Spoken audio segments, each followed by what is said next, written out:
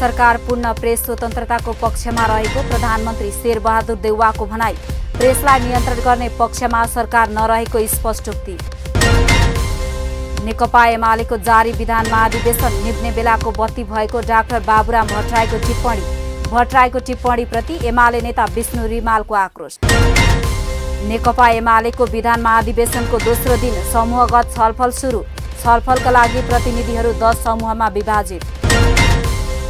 एमाले विधानको नयाँ प्रस्ताव उपमहासचिव पद नरहँदा उपाध्यक्ष पाँच र सचिव छजना रहने।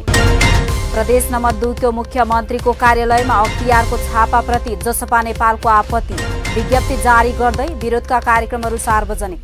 प्रहरीले दुई वर्षदेखि दबाएर राखेको कुमार पौडेल हत्याको घटना अदालतले बिउताइदियो। तत्कालीन गृहमन्त्रीदेखि प्रहरी प्रमुखसम्म तानिन सक्ने।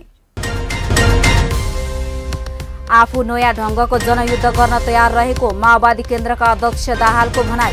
पार्टीभित्र र बाहिरबाट आफूलाई घेराबन्दीमा पार्न खोजिएको आरोप। ओलीले धोका र छल कपटको नीति दिएपछि आफूले हेडक्वार्टरमा बमबारी गरेको माओवादी केन्द्रका अध्यक्ष दाहालको भनाई। देशलाई दुर्घटनामा पर्न नदिन आफूले त्यस्तो कदम चालेको धारणा व्यक्त। कैलालीको चुरे गाउँपालिकाका पहिरो पीडित परिवार अझै बिचलीको अवस्थामा दुई वर्षदेखि जङ्गलकै बास सरकारले केही नगरेको गुनासो।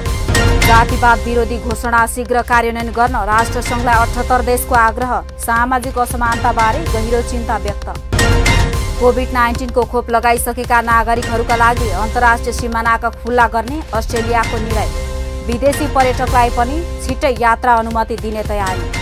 नेपाली अन्डर ट्वेन्टी थ्री राष्ट्रिय फुटबल टिमको बन्द प्रशिक्षणबाट दस खेलाडी बाहिरिए। छनौट खेल आगामी अक्टोबर तेइसदेखि एकतिससम्म हुने। साफ च्याम्पियनसिपमा नेपालको विजयी सुरुवात। आयोजक मालदिप्स एक शून्य गोल अन्तरले पराजित।